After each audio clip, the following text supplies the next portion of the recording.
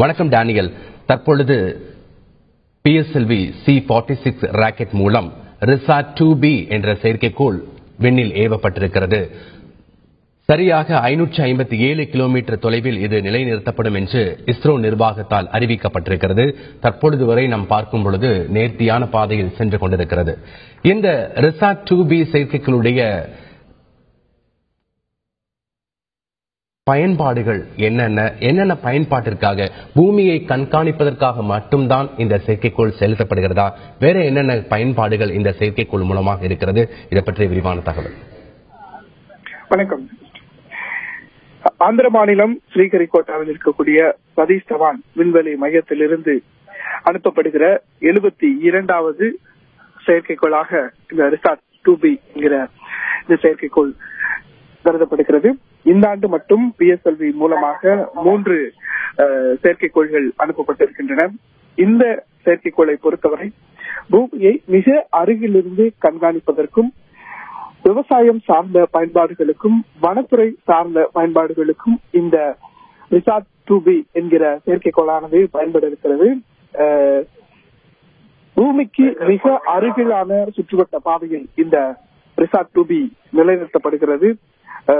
மொத்தம் ஐநூத்தி ஐம்பத்தி ஏழு கிலோமீட்டர் தொலைவில் மிக அது மட்டுமே நிலைநிறுத்தப்பட இருக்கிறது பதினைந்து நிமிடங்கள் இருபத்தி ஒன்பது புள்ளி நாலு இரண்டு வினாடிகளில் இது நிலைநிறுத்தப்பட இருக்கிறது ஐந்து இருபத்தி ஏழு மணிக்கு புறப்பட்ட ரிசார்ட் டூபி ஆனது இன்னும் சற்று நேரத்தில் பூமியின் சுற்றுவட்ட பாதையில் நிலைநிறுத்தப்பட இருக்கிறது மூன்று நான்கு நிலைகளை கொண்ட இந்த பயணத்தில் மூன்று நிலைகளை வெற்றிகரமாக அஹ், டூ பி கடந்திருக்கிறது. இன்னும் சற்று நேரத்தில் அது விண்ணில் நிலைநிறுத்தப்பட இருக்கிறது.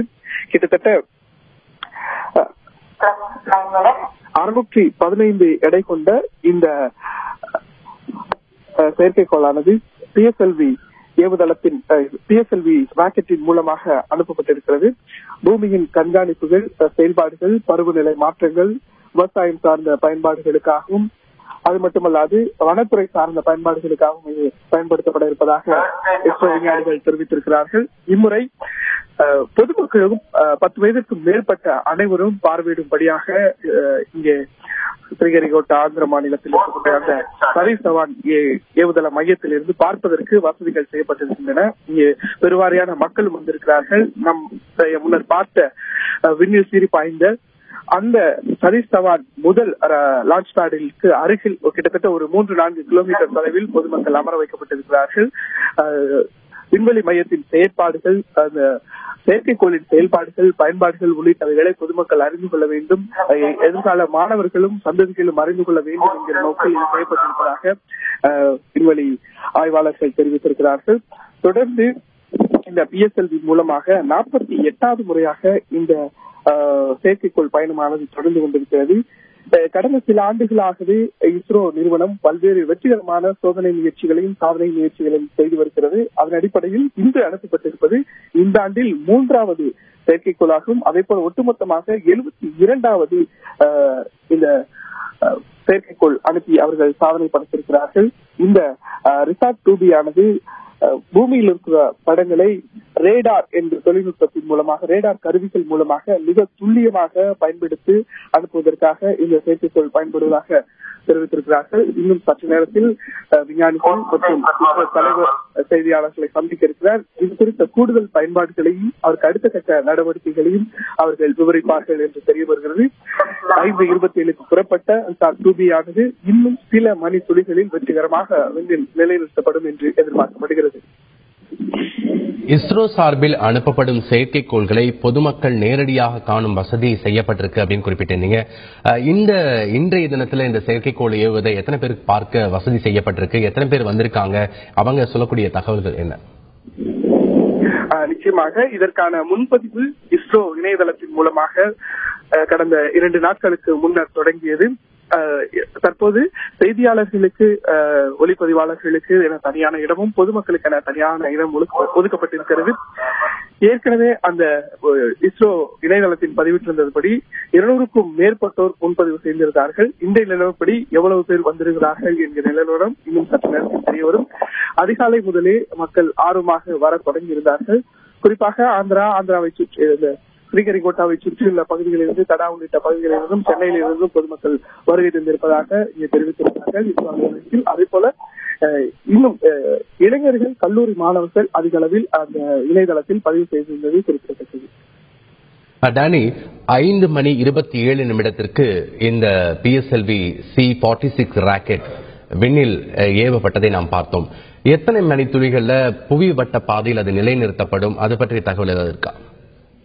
நிச்சயமாக மொத்தம் நான்கு நிலைகளை இது கொண்டிருக்கிறது. அதே போல மூன்று நிலைகளை தற்போது வெற்றிகரமாக கடந்திருப்பதாக விஞ்ஞானிகள் துல்லியமாக கணித்து வருகிறார்கள். அந்த ஐநூற்றி ஐம்பத்தி எட்டு புள்ளி ஒன்பது ஜீரோ இரண்டு ஒன்பது பூஜ்ஜியம் இரண்டு என்ற தொலைவை கிலோமீட்டரை பதினைந்து நிமிடங்கள் இருபத்தி ஒன்பது புள்ளி நாற்பத்தி இரண்டு வினாடிகளில் கடத்திருப்பதாக இங்கு திட்டமிடப்பட்டிருக்கிறது. அதற்கான ஏற்கனவே அவர்கள் கணித்திருக்கிறபடி மிக துல்லியமாக இந்த செயற்கைக்கோளானது சென்று கொண்டிருக்கிறது.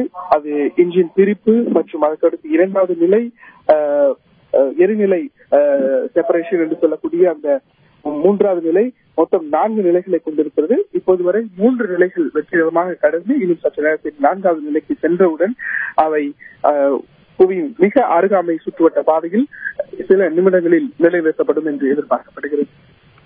டானி ஏற்கனவே ரெண்டாயிரத்தி ஒன்பதாம் ஆண்டு ரிசார்ட் டூ செயற்கைக்கோளும் இரண்டாயிரத்தி பன்னிரெண்டாம் ஆண்டு ரிசார்ட் ஒன் செயற்கைக்கோளும் வெற்றிகரமாக விண்ணில் செலுத்தப்பட்டது. இது ரிசார்ட் டூ பி என்ற ரிசார்ட் வரிசையில் இது மூன்றாவது செயற்கைக்கோள் என்று சொல்லப்படுகிறது.